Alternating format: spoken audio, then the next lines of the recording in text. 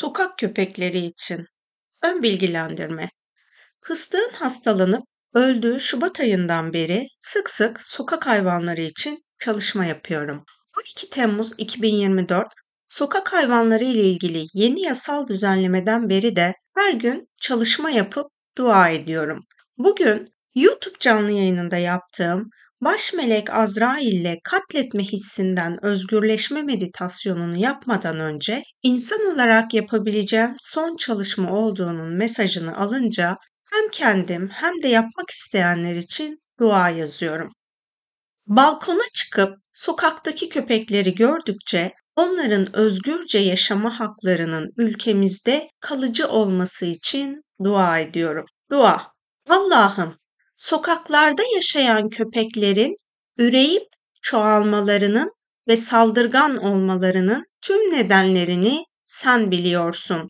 Bu sebeplerin senin katındaki adaletinin dünya yaşamında hak edenlerin gerçekliği olmasını nasip et.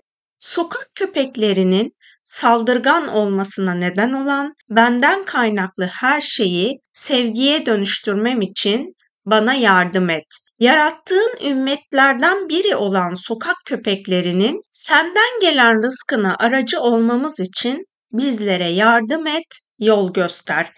Vicdanın sesini duyamayan insanların ve şeytani formlarla yoldaşlık yapanların şerrinden sen sokak köpeklerini ve tüm dünya hayvanlarını koru. Kibre kapılıp kendini dünyanın efendisi sananlardan sokak köpeklerini ve tüm hayvanları sen koru.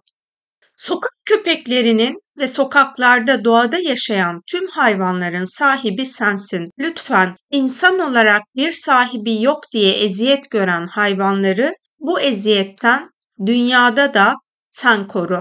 Sokak köpeklerini yasal düzenleme yetkisi ve uygulaması olanların adaletsizliğinden sen koru. Sınırlı bir kul olduğumu biliyorum. İnsan olarak sokak köpekleri ve sokak hayvanları için yapmam gerekenleri yapabilecek maddi gücü ve sorumluluklarımı sen bana fark ettir ve onları yerine getirecek gücü bana sen ver. Sokak köpekleri için gücümün bittiği her şeyde sokak köpeklerine lütfen dünyasal olarak da yardım et. Bu katletme programından sokak köpeklerini, tüm hayvanları, beni, ailemi ve ülkemi sen koru.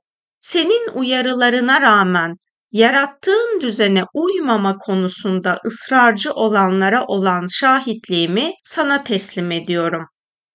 Sokak köpeklerinin bu zamana kadar saldırısına uğramış insanların bu saldırıya uğrama nedenlerini sen şifalandır ve bunların bir daha yaşanmaması için sokak köpeklerine yardım et. Gerçekte sokak köpeklerinin saldırısı olmamasına rağmen toplumu galeyana getirmek için manipülasyon yapanların da müstehaklarını yaşamalarını nasip et.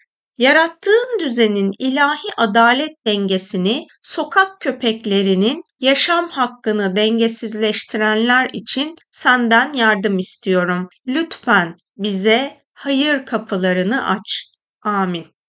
Sizler de edeceğiniz dualarda lanet veya beddua programına müdahil olmadan kalbinizden geldiği şekilde Allah'a dua ederseniz harika olur. Ayrıca Enam suresi 38. ayeti de dualarınıza dahil edebilirsiniz. Birlik yolculuğu sadece bireysel olarak kendimizi dönüştürerek olmaz. Hem kendimiz hem de tüm yaşam için sevgiyle adım atarak olur.